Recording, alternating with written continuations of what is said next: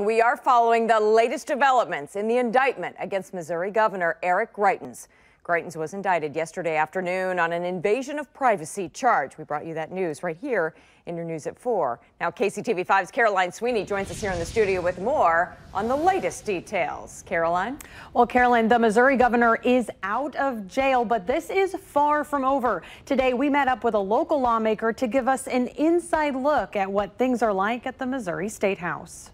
Lawmakers in Missouri are still grappling with the indictment handed down by a grand jury on Thursday, halting any forward progress for the 2018 legislative session. Whether you're a Democrat or a Republican, uh, it's it's shameful on the state of Missouri to have the sitting governor indicted with a felony. Jefferson City is tense as leaders try to figure out what happens now. On both sides of the aisle, there's a sense of um, just sadness that we're having to go through this. Representative Greg Razer says his constituents in Kansas City have something to say about the embattled governor. There's a lot of folks that are angry at the governor.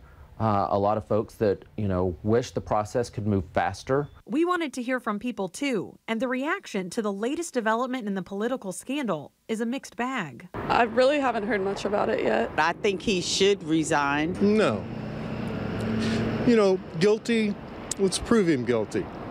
Innocent until proven guilty. So, what should happen next for Greitens? Calls for his resignation are coming from across the political spectrum. Is that something that you support? Uh, absolutely. I don't know if he can effectively uh, do the job of chief, chief executive while at the same time dealing with a felony indictment.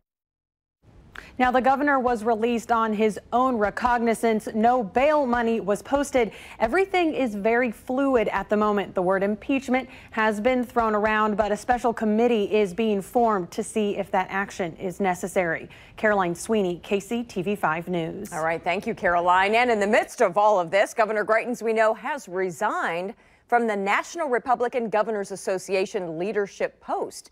That announcement came as Greitens told the group that he would not be attending the National Governors Association's annual winter meeting that was to be this weekend.